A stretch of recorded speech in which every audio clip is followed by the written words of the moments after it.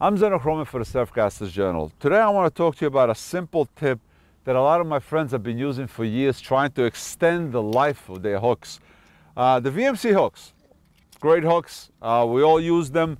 There is some bitching about last few years that they're brittle, that they break when you cut them and try to put them back in.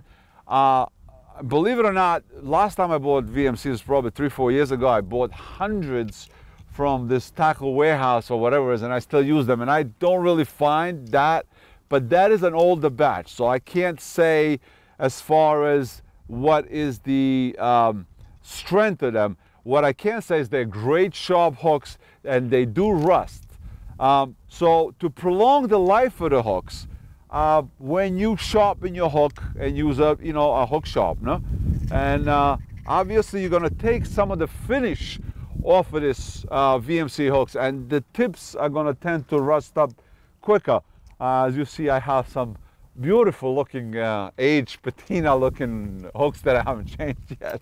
But what you can do to extend the life of your uh, hook or points is to take a, a magic marker or Sharpie and just paint the tips over black after you sharpen them and this will uh, prolong the period that it will take for them to start to rust up. So you're just gonna prolong a little bit of life for the hook. Um, I honestly don't find uh, that the rusted hook in the beginning it, it, loses any of the effectiveness, but it does as the time goes, they do start to deteriorate.